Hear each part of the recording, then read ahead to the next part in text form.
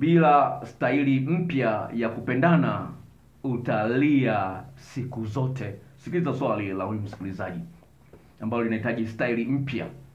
Naomba ushauri wako.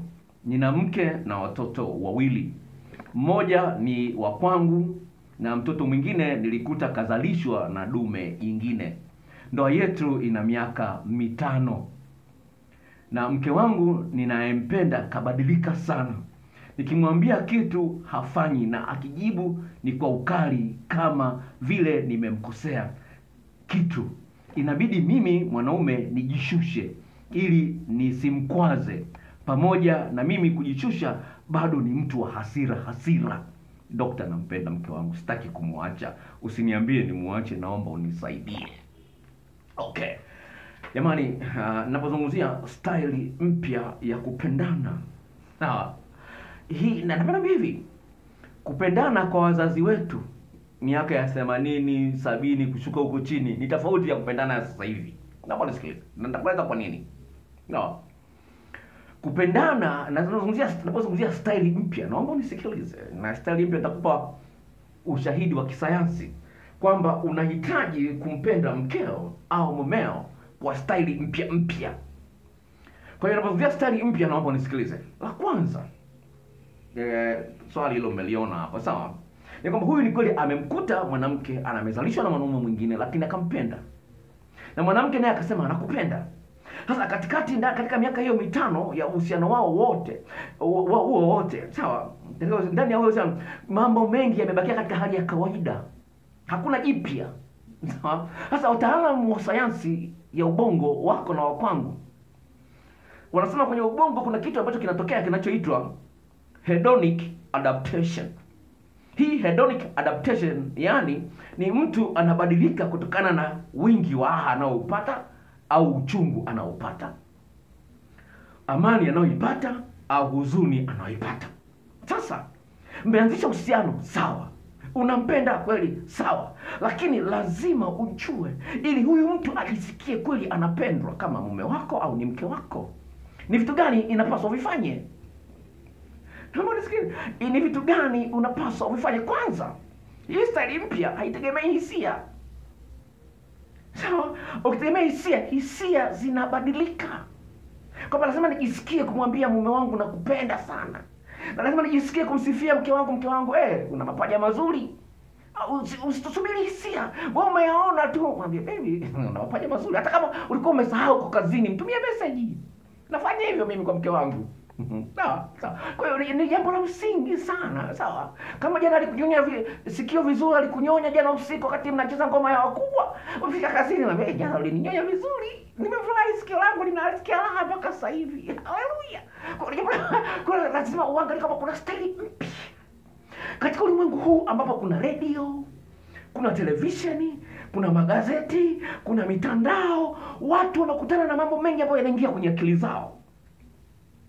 Kwa hiyo naposema staili mpya, kwa hiyo lazima ujue unao wajibu mkubwa tena wa kuendelea kumfanya mpenzi wako ajisikie anapendwa. Sasa swali ambalo limeleta mada hii, sawa? Kama huna tabia, ni kweli unamjali, unampenda, ni kweli, kweli kabisa, sio kama unasema uongo, ni kweli unampenda, lakini kuna vitu unafanya kama anavyotaka yeye. Kwa mfano, lini umetembea na mke wako, umemshika mkono, mnatembea barabarani. Mwaka mzima toka elfu mbili na, ishirini mpaka ishirini na moja. Lini? Lini unaenda kazini umemkumbatia mke wako au mume wako kwamba mume wangu kazi njema? Lini? Mimi tu leo asubuhi nimekumbatia mke wangu. Vizuri tu. Ni jambo la msingi ufahamu kwamba unaweza kuwa na kitu kidogo. Lakini kitu kidogo kinaongezea utamu. Kuonyesha kwamba kweli mke wangu ananipenda mke wangu ananithamini sawa bado mimi ni wa muhimu kwake unaweza kuona kwa lini umemletea zawadi? Ni, vitu ambavyo naongea mara kwa mara hapa. Lakini watu wengi wana vinaingia hapa vinatokea au anafanya miezi miwili alafu anaacha anafanya wiki mbili alafu anaacha. No. Lazima ujenge taratibu kwamba bwana lazima nifanye. Wewe umefika nyumbani umetoka kazini saa saa moja tuchukue saa kumi na mbili. Umepumzika kama nusu saa saa moja unafika sebleni baada ya kula mnaangalia tv hamna muda wa kuongea. Hamna. Hakuna umbea wala nini. Hamtengenezi connection kuna kitu ambacho kinaitwa uh, interpersonal synchronization kwenye psychology. Yani ili kuweza kuwepo na mshikamano wa kihisia kati yenu lazima nafasi hii ya kuongea kutembea pamoja kuonekana pamoja iwepo. Sasa hakuna outing hakuna maongezi nyumbani. Asubuhi umeamka umeenda kazini au kwenye biashara zako lakini una muda wa kuongea na mke wako una muda. Mnachoongelea tu watoto hawajaenda shule sijui sukari imeisha ndio maongezi makubwa sijui kuna msiba mahali fulani kafa ndio maongezi hakuna ile ya kuchekeshana hamna kicheko kati yenu. Mtafika wapi? Hamwezi mkafika mbali kwa safari ya muda mrefu hamwezi mkafika mbali. Wakati michepuko wana maneno matamu kweli. Hey baby sijui nini. Wewe hujai kuita baby? Unamwita tu mama fulani baba fulani hujamwita baby? Hani hujawai kumbusu kwenye simu mke wako i love you baby how are you? I love you i love you so much baby i miss you mambo kama hayo ujai kwenye simu kumwambia hivyo kwamba nakupenda sio message. Kwenye simu unaongea naye. Kwa sababu unaona kwenye kwenye unaangalia kwenye YouTube nimeshika simu nyingine hapa sawa? Kwa jambo la msingi ufahamu kwamba haya ni mambo ya msingi. Mara nyingi utaona mke wako ameanza kubadilika anapokuwa busy na simu anapokuwa busy na mambo mengine hana time na wewe. Sasa nyinyi kama nyinyi hamna time nyinyi kwa nyinyi. Ndio hiyo itaenda inaenda wapi? Sawa? Kwa hiyo lazima kuwa na staili mpya kuleta vitu vipya mnogesho. no sasa kwa mfano mimi nilikuwa sijui lakini kwa nafanya kama nilikuwa najua ni muhimu. Sawa? Nilikuwa na elimu yangu sawa? Nilikuwa amelala na mke wangu. Yeye amelala hivi namkumbatia sawa? Namkumbatia kwa amelala amekumbatia. sasa anajisogeza nyuma kabisa makalio yake yaniguse. No. Ana mimi sikujua kama ni muhimu lakini siku moja tukawa tunaongea tukaliongelea. Akasema naipenda kweli hiyo. Unaona? Unaona? Mimi nilianzisha akajua nyingine ambayo nimeanzisha staili mpya naweza kuwa saa nane za usiku nimeenda haja haja ndogo sawa? Sawa nimeenda haja ndogo nimerudi kulala. Nikirudi kulala na, na, na, namnong'oneza. yeye amelala usingizi anakoroma. Sawa? namnong'oneza i love you baby oliga i love you. Anaamka anasikia asante. Yaani yuko kwenye usingizi lakini anasikia. Pia kuna sikio la tatu. Hilo ulijui lakini lipo. Waulizo wanasayansi watakwambia. Ingia kwenye google. Lazima uwe na sikio la tatu la kusikiliza. Sio kila kitu uambiwe sawa napozungumzia sikio la tatu ni kwamba jiongeze.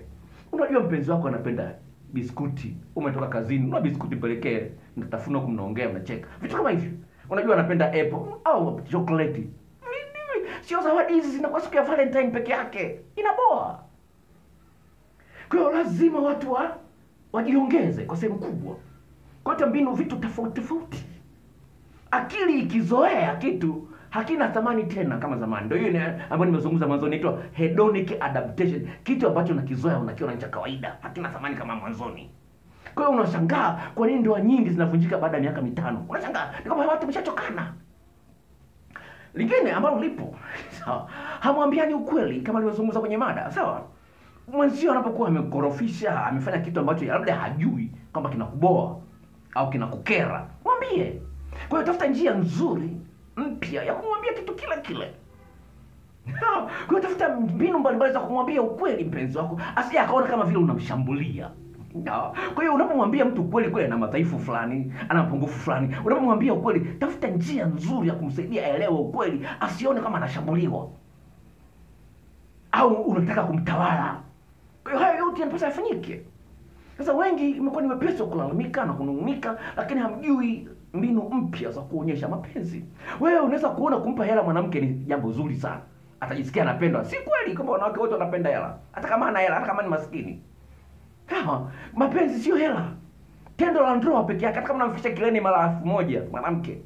Usifikiri kama unamfikisha kileni ndio kila kitu umemaliza. Bado hujamaliza No. Kwa hiyo lazima tuna, tuna, kuna kuna vionjo mbalimbali madoido mbalimbali yanayohitajika ya kuweza kuleta mnogesho katika tendo la ndoa. Mpaka mtu anaimba ni raha tupu kupendana na wewe raha tupu raha raha tupu kupendana na ndivyo inavyopaswa iwe.